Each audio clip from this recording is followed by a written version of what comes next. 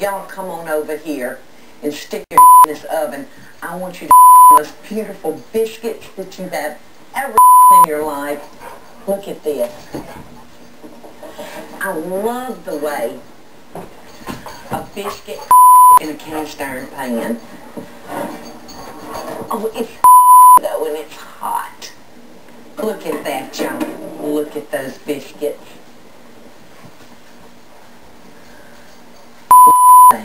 I can't hardly wait to butter them and along with this gravy. Well, let's move on because the next thing I'm fixing to make is a chicken steak. This is one of these dishes where the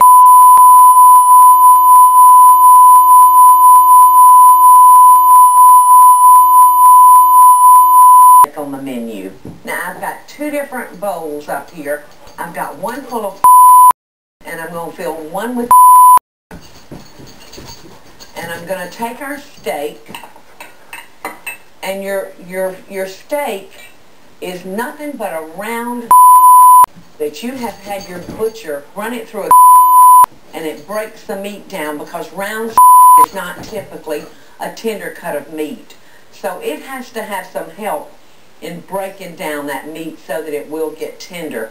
Now I'm going to take our and I'm just going to sprinkle it with and then I'm going to run it through the and then into the and that is going to help it have a nice heavy I probably got about a half an inch of and it's not going to take long for this to cook at all. So let's start by a piece, and yeah, that's good. In fact, that might just be perfect.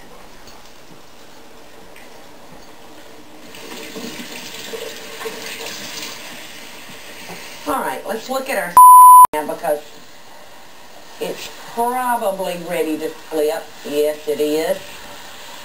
And you'll want to do this gently so that your doesn't fall off because you want every bit of that all right. While that steak is up and it's about ready, I'm going to move the biscuits down here and I'm going to take the up and I'm going to let it for a second on a paper towel.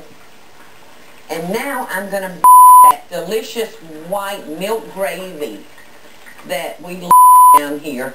I'm going to ever so gently Somebody call 911 Shawty